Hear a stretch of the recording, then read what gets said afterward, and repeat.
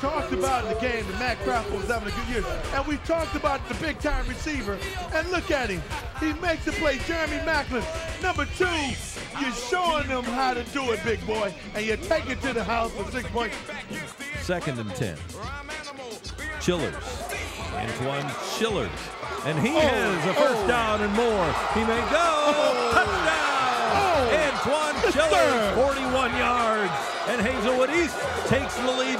Watch the step away speed. Here it comes. As he comes into your picture, he made 10 yards up. Yeah, watch, watch this angle because this will show you the velocity of this shot. Wait, what a pill. And a quick two on one. One pass, running up and putting it in. Then hands throw. Watch, look at the alley pass. And you knew what was going to happen. Shays almost a Clyde Drexler with a mix of Charles Barkley. John going right back the other way. They turn it over. Looking for the long bomb. They get it down and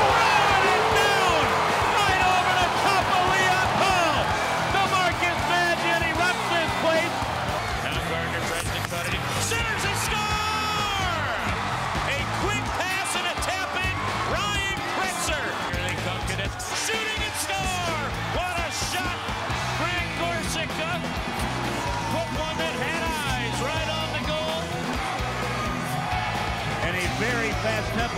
All alone, down